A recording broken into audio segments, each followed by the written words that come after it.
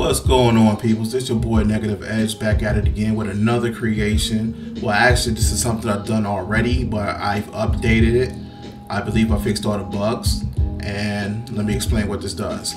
This right here is what I call a YouTube playlist database for live streaming.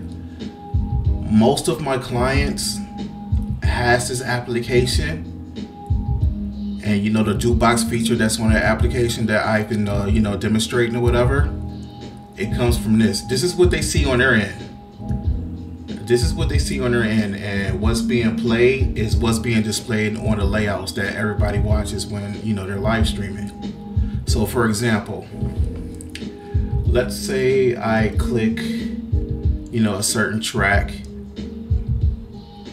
and I wanted to play on the um, layout so let's go to my layout right quick. Here we go. And I'm about to click the Sonic Mania track right here. And watch what happens.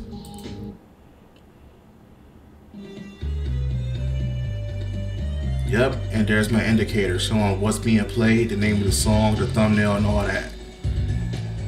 So that's how that works. It this this right here works with you know my client's layouts if they want it.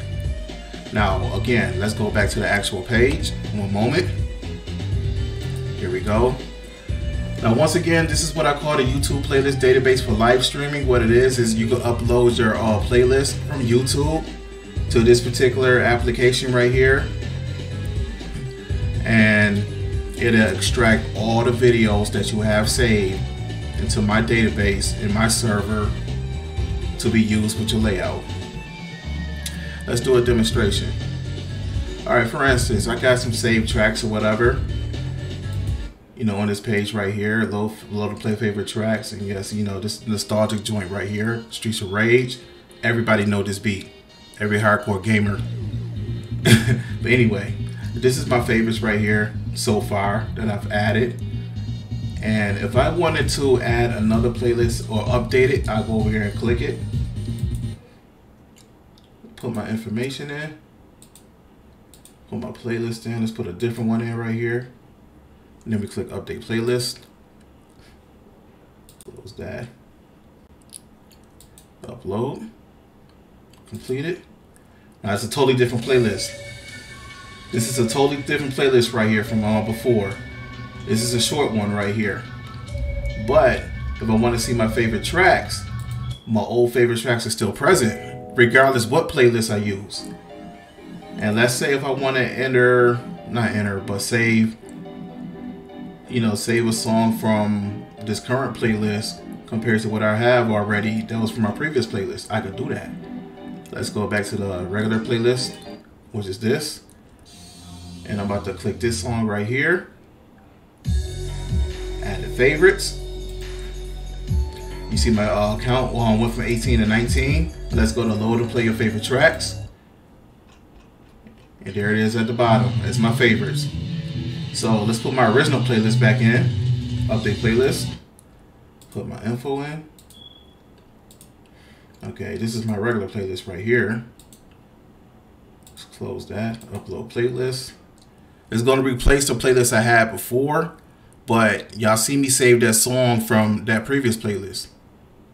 Okay, and this is a brand new playlist right here. Let's go to the next song. I already got that saved. Let's go to the next song. Alright, Ninja Guy. Yeah, okay. Let's add that one to the favorites. Now we go to the favorite playlist tracks right here, the page. And as you can see, here's a song I saved from the last playlist, and here's a song I saved from this playlist. So you can add as many playlists as you want, but it's going to replace the current playlist that's playing right now. But if you save songs from regardless, you know, whatever playlist you add on there, if you save a song, it doesn't have to be the same playlist. It is saved into a separate um, database for it could be pulled up when you you know whenever you want it. So you won't lose those. So yeah, that's it right there. The YouTube date, uh, the, ugh, I can't even talk. The YouTube playlist database for live streaming right there. It works with um, the layouts I designed, as you see, as you can see. Once again, let's go ahead and show it again. Go back to my layout.